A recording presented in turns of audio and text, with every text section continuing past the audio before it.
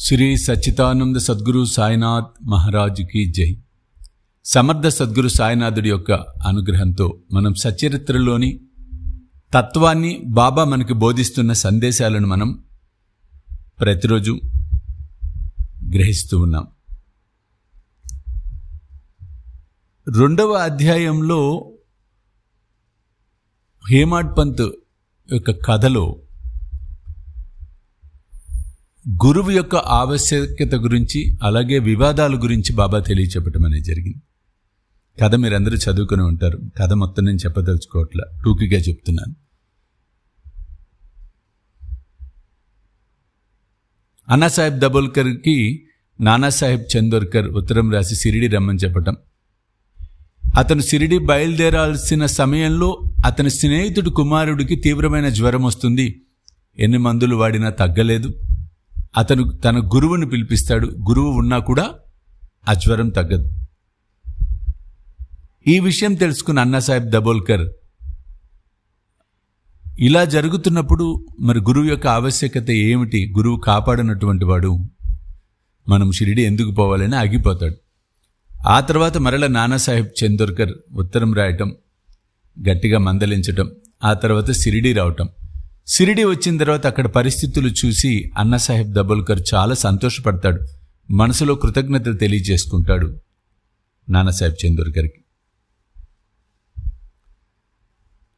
అక్కడ వాడలో కాకాసాహెబ్ దీక్షిత్ వాడలో గురువు యొక్క ఆవశ్యకత గురించి వివాదం జరుగుతుంది చర్చలు.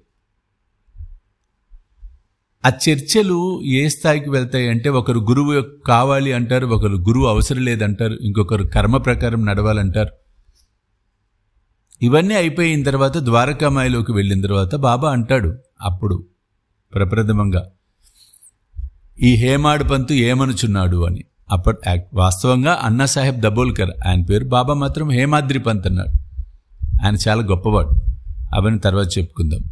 అప్పటి నుంచి ఆ పేరు స్థిరపడుతుంది. బాబా మందలిస్తాడు. వాద వి- వాదోపవాదాలకు చర్చలకు ఆస్కారం ఇవ్వవద్దు.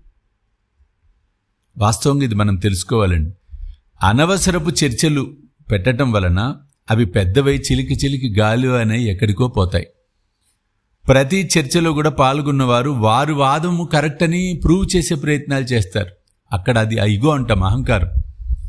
దానివల్ల ఏమవుతుందంటే ఆ అహంకారము క్రోధం కింద పరిణమిస్తుంది.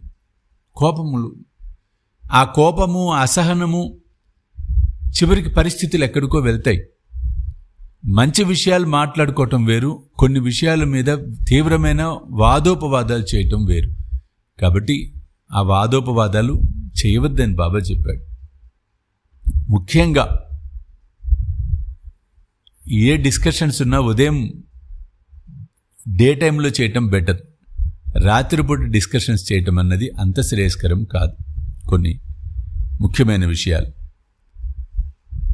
అలాగే ఇక్కడి కథలో మనం బాగా గమనించినట్లయితే గురువు అవసరమా? కాదా. గుహ్యమైన అంధకారాన్ని తొలగించేవాడు గురువు. ఒక పని ఆ పని ఎలా చేయాలి? చేయొచ్చా? చేయకూడదా? అనే సలహాలను ఇచ్చేవాడు గురువు. మార్గాన్ని చూపించేవాడు గురువు. మార్గాన్ని చేర్చేవాడు ఆ మార్గ నిర్దేశనం ఏదైతే ఉందో డెస్టినేషన్కి చేర్చేవాడు గురువు. సర్వకాల సర్వావస్థలు ఎందు మనకు తోడుగా ఉండేవాడు గురువు. మనందరి అదృష్టంతో సమర్థ సద్గురు సాయి మనకి లభించటం మన పూర్వజన్మ సుకృతం. కాబట్టి కథలో కూడా బాబా చెప్పాడు స్వయంగా గురువు ఉండటం వలన ఈ ఈ- ఇది ఒక అరణ్యం. ఈ అరణ్యంలో మార్గదర్శి తోడుగా ఉంటే అరణ్యం ఈజీగా దాటేస్తాం. మార్గదర్శి లేకపోతే అడవిలో ఉన్న పులులు సింహాలు క్రూర జంతువులు ముళ్ళు వీటి బారిన పడతాం. కాబట్టి మార్గదర్శి ఆ మార్గదర్శే గురువు. ఆ గురువే మనకు సమర్థ సద్గురు సాయినాథుడు. కాబట్టి ఈ అధ్యాయంలో ఈ అంశాల ద్వారా గురువును విశ్వసించటం అన్నది చాలా ముఖ్యం. గురువు లభించటం గురువును విశ్వసించటం గురువు సూచించిన మార్గంలో నడవటం అన్నది కూడా చాలా ముఖ్యమైనటువంటి అంశం.